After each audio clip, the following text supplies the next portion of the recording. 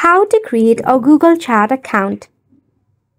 Hey everyone, welcome to the channel and let's get right into this quick and easy tutorial. To start off, launch a Play Store in your mobile device. Tap on the search icon.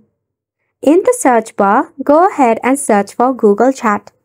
Tap on the application and click on the install button if you have not installed the application in your mobile device.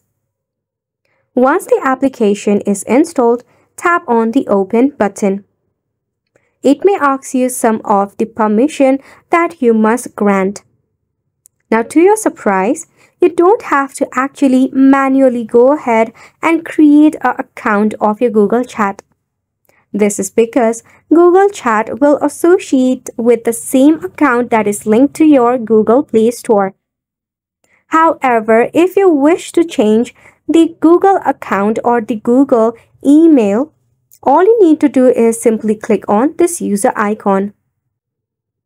With a simple click, you can select on any of the email that is linked to your mobile device or you can even create a new account by tapping on add another account to which you can manually enter the email address and password to add it into your device then link it with your Google Chat.